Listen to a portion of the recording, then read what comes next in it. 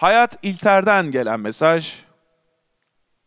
Zerdali güzeli gözlerinle gül bana Zerdali güzeli gözlerinle gül bana Zerdali güzeli gözlerinle